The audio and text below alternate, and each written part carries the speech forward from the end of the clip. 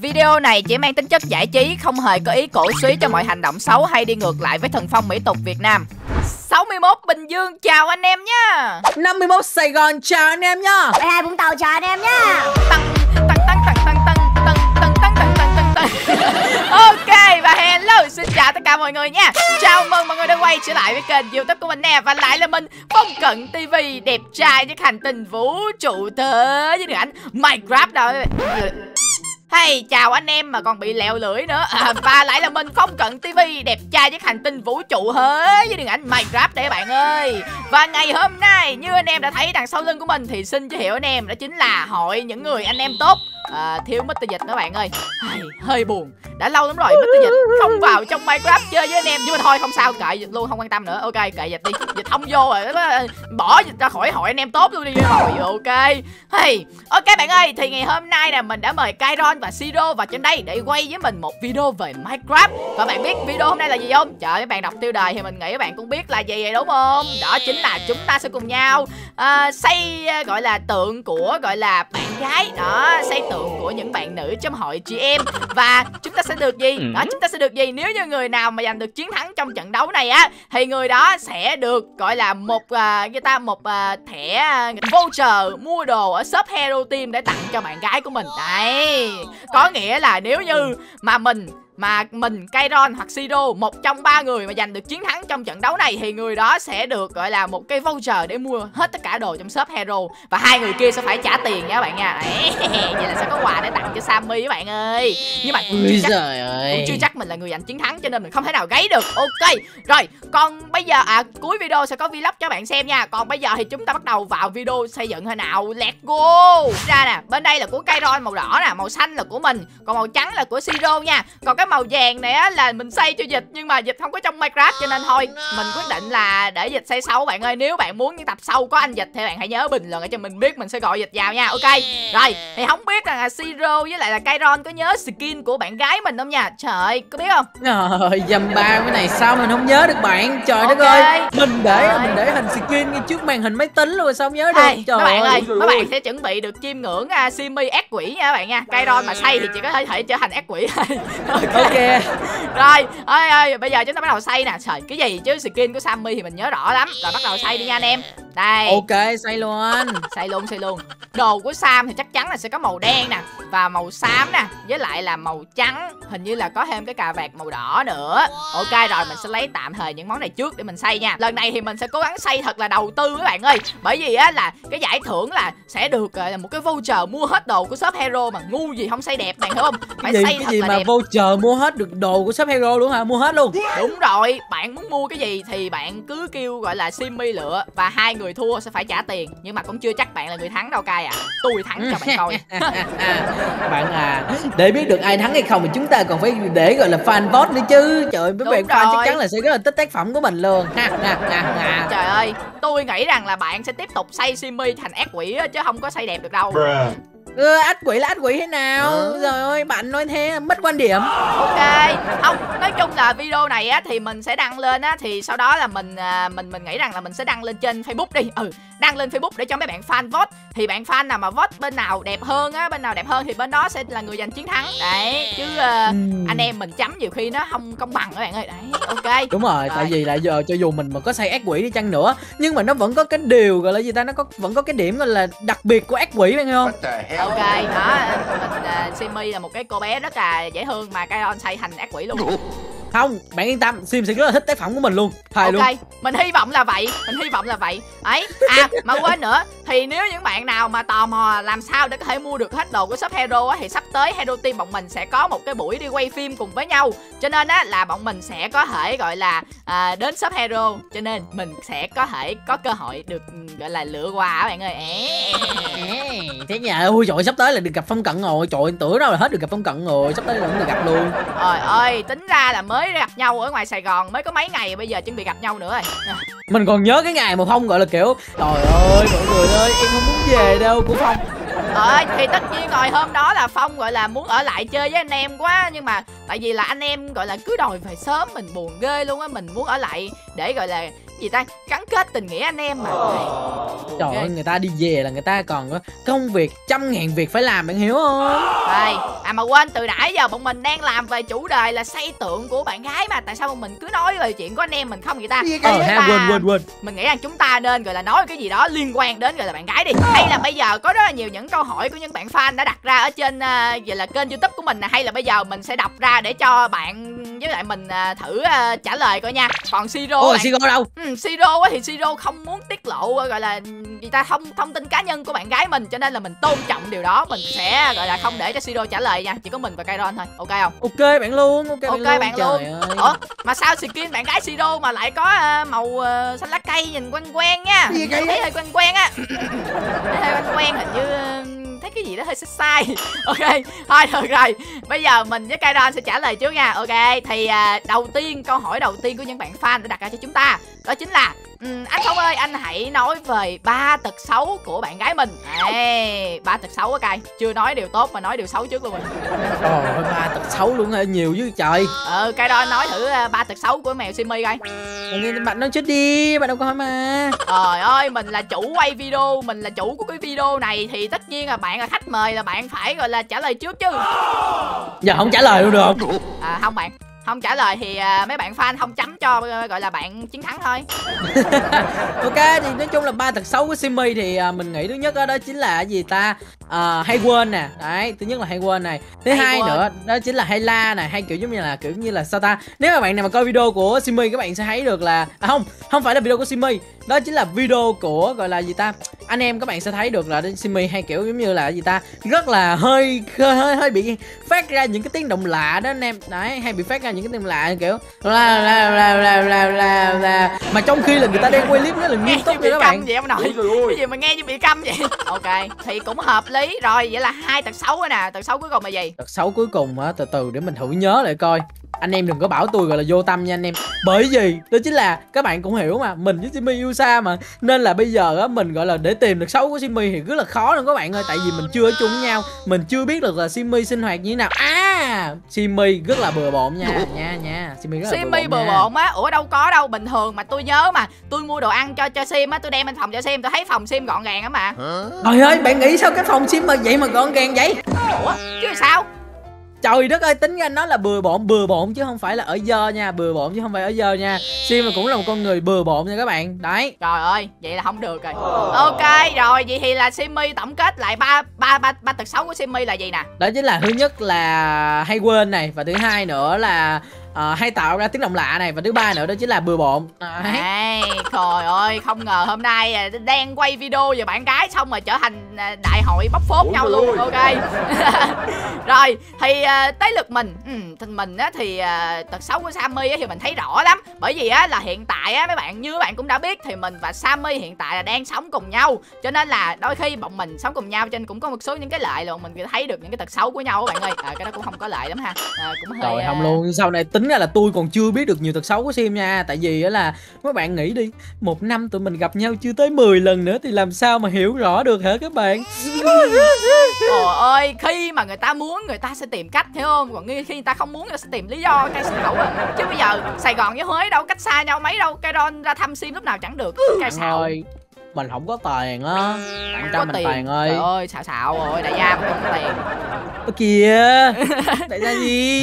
Ok rồi thì uh, mình quay trở lại với chủ đề cũ đây đó. Thì tật xấu của sammy hả? Để mình nghĩ coi. Uhm, tật xấu của Sammy thì ờ, tôi nghĩ là chắc là sẽ là um, có cái việc bừa bộn trong đó bạn ơi. Hình như là hai chị em giống nhau hay sao cay hình như là Sammy cũng hơi bừa bộn. Không tại vì nếu mà bạn nhìn vô phòng của Sim hoặc là Sam á bạn sẽ thấy là nó gọn. Tại vì nó rộng nên là bạn sẽ thấy nó gọn. Nhưng mà thật ra nếu mà bạn nhìn vô những cái góc ngách của căn phòng của Sim hoặc Sam á bạn sẽ thấy được là bên trong đó đồ để nó rất là kiểu sao ta nó rất là hỗn tạp ấy. Mà nó không có đồ nào ra đồ nào đồ nấy nấy và nó để không trong đó nhìn nó rất là bừa luôn. Uh, Sammy thì khác. Sammy á thì thì thường là mình để ý á là bởi vì là Sammy nuôi cam với lại bông cho nên là cam với bông thì thường mấy bạn cũng biết mà. Mấy con mèo thường nó sẽ rất là quậy cho nên là bọn nó hay quậy phá lung tung hết à và phòng của Sam bị bừa bộn mà một phần là do cam với lại bông á bạn. Ấy chứ Sam của tôi không có gọi là bừa bộn lắm đâu bạn ơi. Sam một tuần dọn phòng hai lần đó bạn không đùa nha wow. Xiên Ok. xiên xiên xiên Rồi, tiếp nữa nè.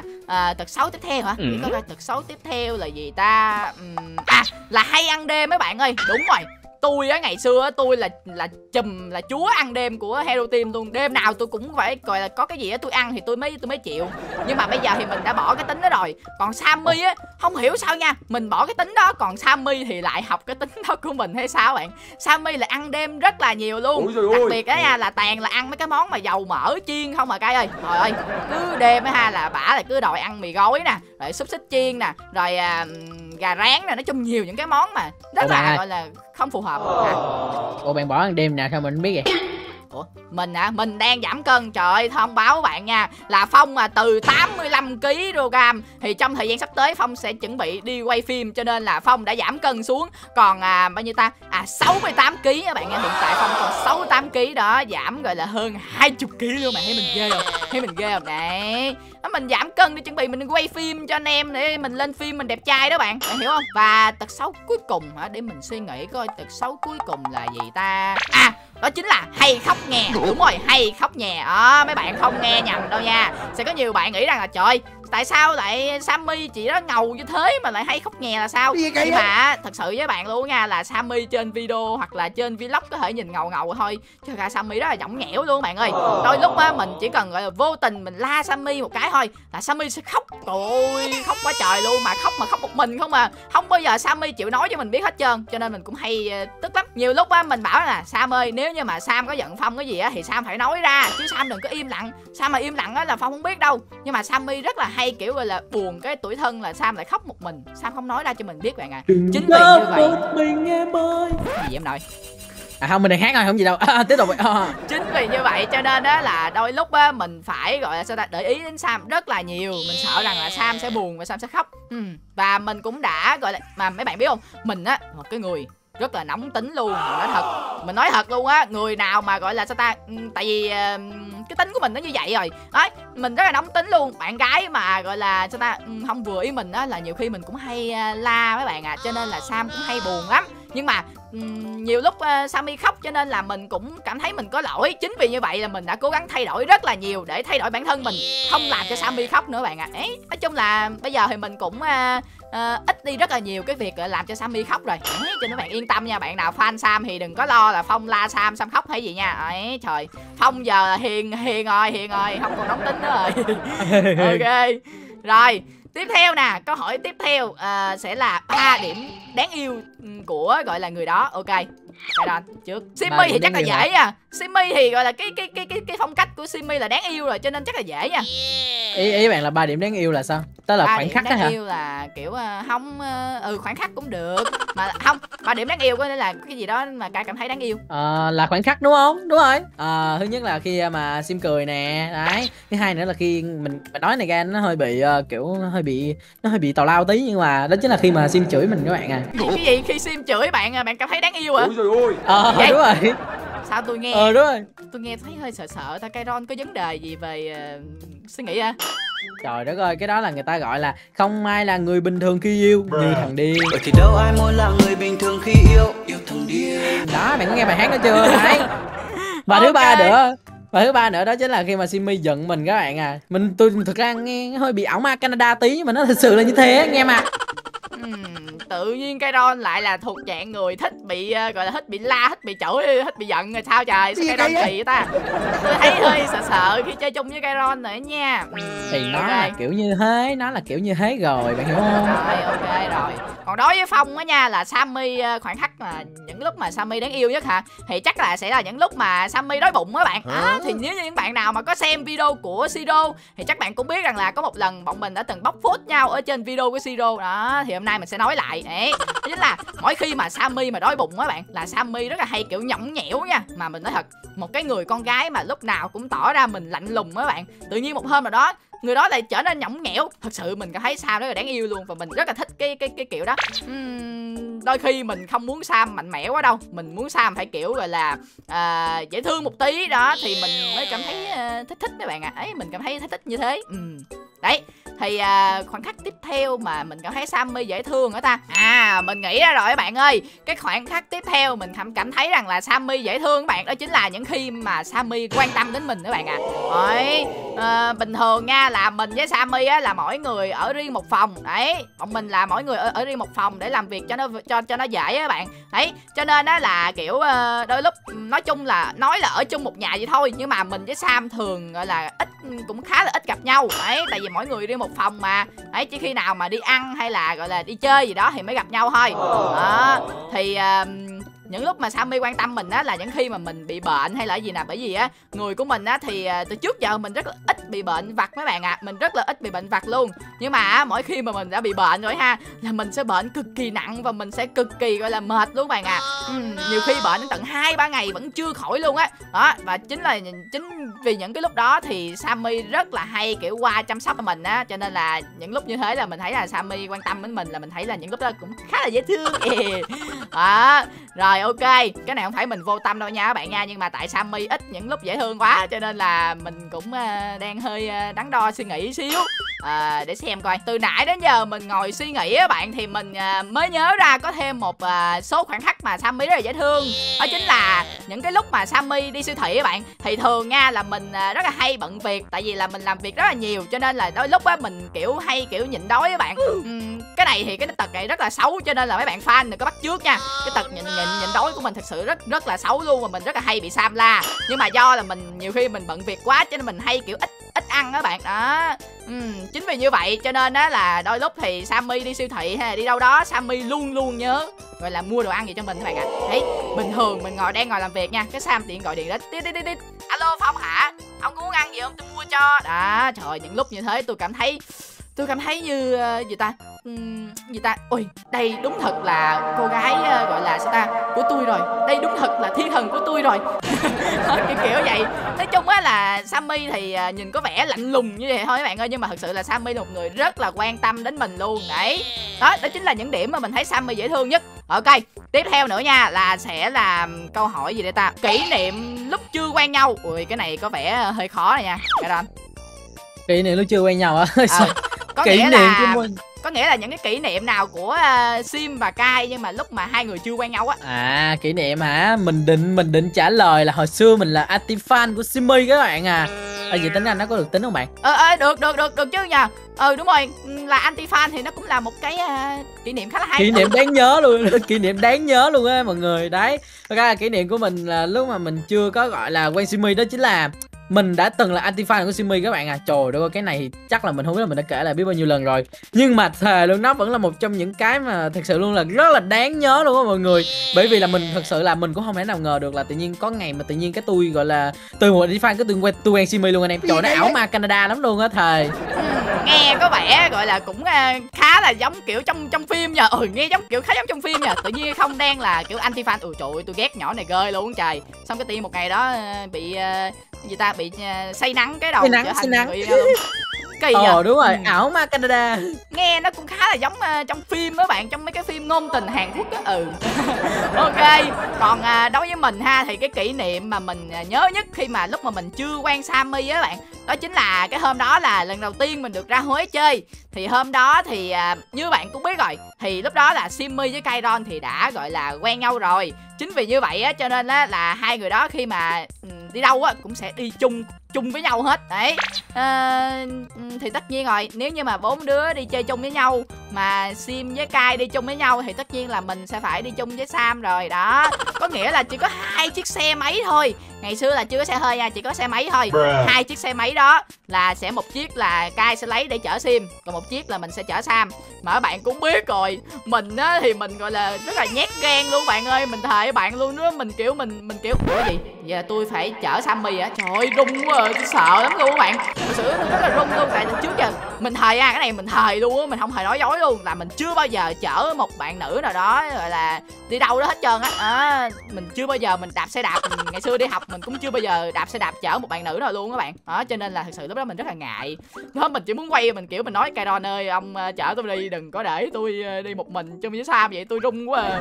cái này người ta hay gọi là nhát uh, nhát nhát uh, nhát nhát gan á bạn. Ơi kiểu hới đấy thì à, mình nhớ cái hôm đó nha là trời rất là lạnh. Ở ngoài Huế các bạn thì thường thì thời tiết của nó sẽ rất là lạnh vào mùa đông luôn. Mà cái hôm đó hình như là cũng à, mới vừa qua mùa đông được à, gọi là tháng thì phải ừ đó.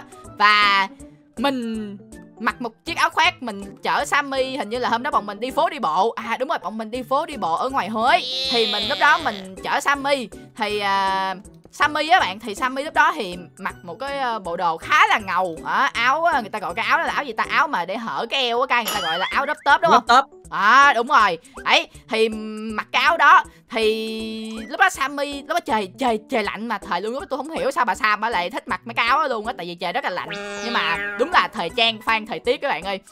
Dù thời tiết lạnh nó như thế nào nhưng mà vì đẹp thì chúng ta vẫn sẽ ăn mặc uh, kiểu thật là đẹp các bạn ơi.